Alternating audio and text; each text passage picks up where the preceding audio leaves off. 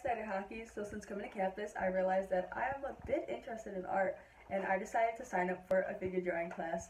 So here is a five-minute sketch that I did at my first class. It's a bit rough, but if I keep going, hopefully it'll get better.